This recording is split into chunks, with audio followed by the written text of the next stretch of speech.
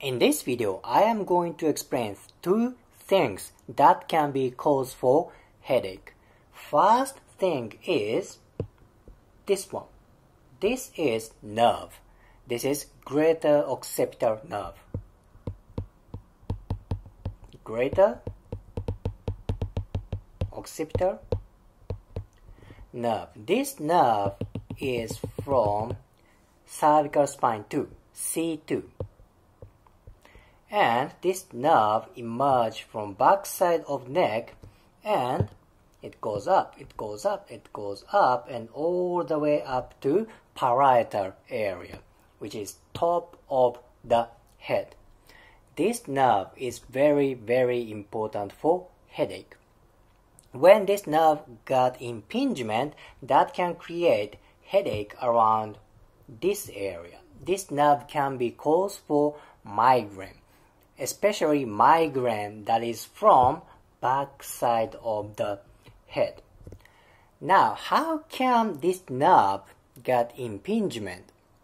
That can be various reasons. Maybe this muscle gets tight. What is this one? This is trapezius. If you look carefully, there is greater occipital nerve beside trapezius. And maybe this muscle can get tight. This one.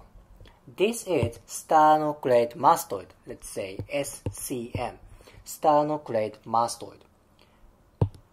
Greater occipital nerve emerges between trapezius and sternocleidomastoid. So when trapezius and sternocleidomastoid gets tight, space between here can diminish. That means this space can be narrow. Then what's going to happen to greater occipital nerve? This nerve can get impingement. What happens when nerve get impingement? That can create numbness or pain. There can be other reasons such as whiplash, car accident, and head trauma. Let's say somebody got a car accident and sports injury this area, that can create trauma here. Now, trauma can tighten up muscles and ligaments and nervous tissue. What's going to happen to greater occipital nerve? That can get damaged, which leads to headache, right? I focus on greater occipital nerve a lot for headache and neck pain. This nerve is very, very important for pain around back side of head and neck. This is first one, greater occipital nerve, very important nerve. Now let me move to next one. Now you see brain. Do you remember this is greater occipital nerve? When greater occipital nerve got impingement, that can create headache, but it is outside of head, right? Next thing is membrane that is covering brain. That is dura mater. Dura mater. Dura mater is membrane that covers brain. Dura mater is the outermost membrane. Okay, this membrane is very very important. I focus on this membrane for headache and head trauma and neck pain. I work on dura mater for almost everybody in my clinic. Why is that so important? When membrane gets shortened, that can create tension for brain. That can create tension for cranium. That can create headache.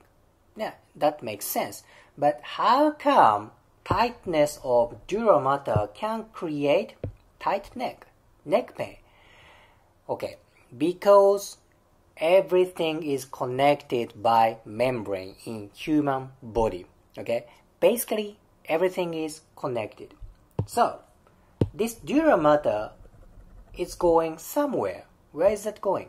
It's going to spinal cord. membranous connection is still going brain to spinal cord. So, dura mater goes to this way, like brain becomes spinal cord. So there is membranous connection here, right? So let's say when dura mater gets tight here, this tightness and tension can go to cervical spine area. Okay, that's why tightness around the dura mater can create headache or neck pain, neck restriction because of membranous connection. The reason of uh, tightening up dura mater can be varied. It can be from head trauma.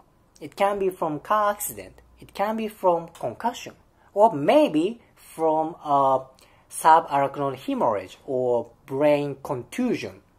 When surgery is necessary, that is for doctor, right?